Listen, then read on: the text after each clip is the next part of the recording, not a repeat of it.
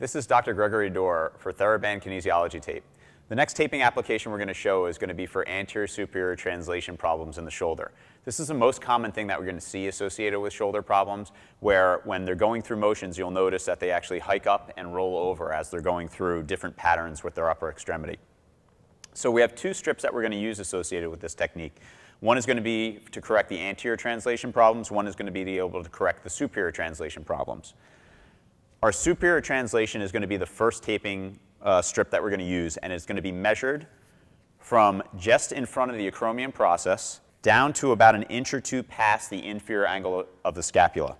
And that's going to be our first cut. And our second strip for anterior translation issues is going to be measured from the front of the shoulder, around the lateral aspect, to the medial border of the scapula.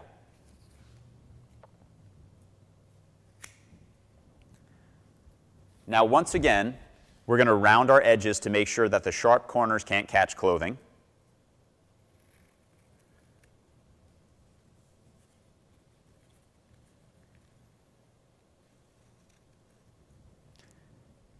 However, with our superior translation, we're going to make a Y strip out of this.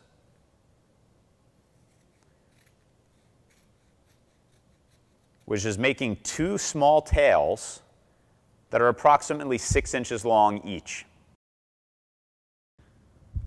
In order to make it easier to control each tail, what we want to do is break the backing right at those individual tails and then our base, as opposed to being at the end of the tape, is going to be in the middle.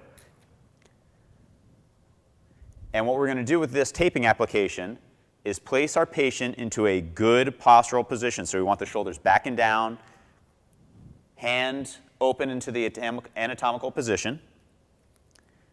We're going to place our tape right over the posterior cuff with basically no stretch on it.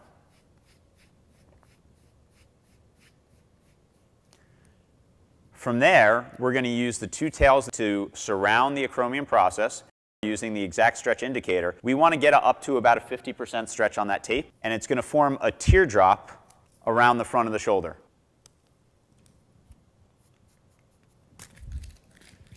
Now, understanding that when we go over 50% stretch, we're using this a little bit more for mechanical support, not just for neurologic stimulation. On our posterior tail, the single one, we're going to take this tape, paper off tension, back over the inferior angle of the scapula towards the spine and the thoracolumbar fascia. Our second strip, we're going to break a 2-inch box at the edge, peel off our backing, place our base over the front of the shoulder. Now this one's really important depending on the size of our shoulder, how much stretch we're going to place into the tape. If you have a small, smaller body part like mine, a smaller shoulder, we can stretch this between 50 and 75% without too much of an issue.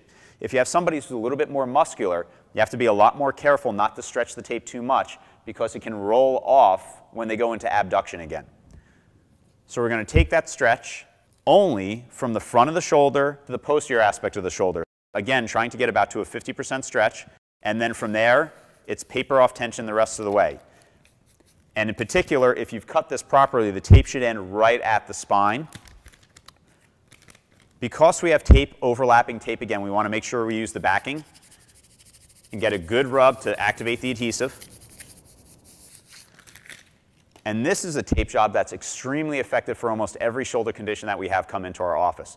The only time this is really an inappropriate situation is when you have somebody with posterior labral tearing or posterior osteophytes, because what it will do is help to relocate that uh, head of the humerus into the glenoid.